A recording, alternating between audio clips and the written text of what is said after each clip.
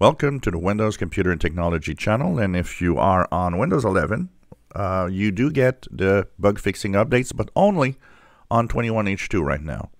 Uh, Microsoft has said that 22H2 updates for bug fixes this month will be coming up shortly, so it could be later today or it could be in the next few days. But it seems that uh, they are not ready yet. So if you're on Windows 11 21H2, go to your Windows updates if you wish to check out for the bug fixes. They are optional updates or what Microsoft calls preview updates. Once again, if you're on 22H2, they are not there yet. These updates, of course, fix uh, several bugs. So, according to the uh, blog post, one of the things that it does will introduce the new Quick Assist application. So, apparently, uh, there's an update with that. There's addressing of persistent update failures for the Microsoft Store, which is the same as Windows 10. Uh, there uh, is an effect that some devices that are managed by an enterprise um, that it improves reliability of apps installations for them. Of course, the Direct3D 9 uh, that causes problems when you are using Microsoft Remote Desktop is also affecting Windows 11 21H2.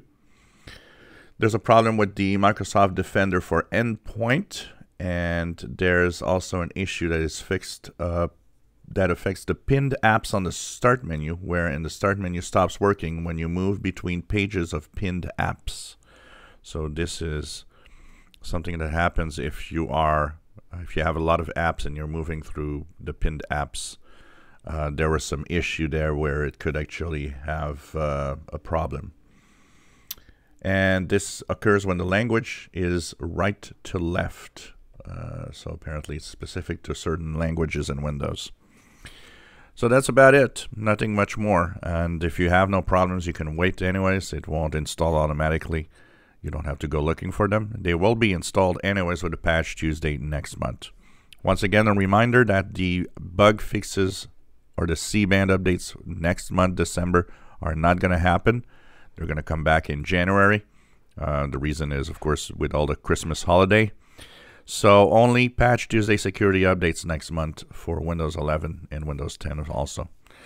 So uh, if you have issues, you can check it out, but it doesn't fix that many things actually. Uh, Windows 11 21H2 bug fixing updates or preview updates as they call them are available. Once again, 21H2 only, 22H2 will come later. If you enjoy my videos, please subscribe, give us thumbs up. Thank you for watching.